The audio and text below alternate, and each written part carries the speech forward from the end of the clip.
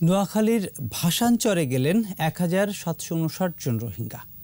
সকালে Chittagong boat club থেকে এসব রোহিঙ্গাদের নৌবাহিনীর পাঁচটি জাহাজে করে ভাসানচরে নিয়ে যাওয়া হয়। চট্টগ্রামের বিএফ শাহিন কলেজের ট্রানজিট ক্যাম্প থেকে সকাল পৌনে দশটার দিকে তাদের নিয়ে আসা হয় পতেঙ্গা বোট ক্লাব জেটিতে। এরপর সেখান থেকে নৌবাহিনীর পাঁচটি জাহাজে করে নেওয়া হয় নোয়াখালীর ভাসানচরে। এ নিয়ে চোদ্দ হাজারের বেশি রোহিঙ্গাকে ভাসানচরে স্থানান্তর করা হলো।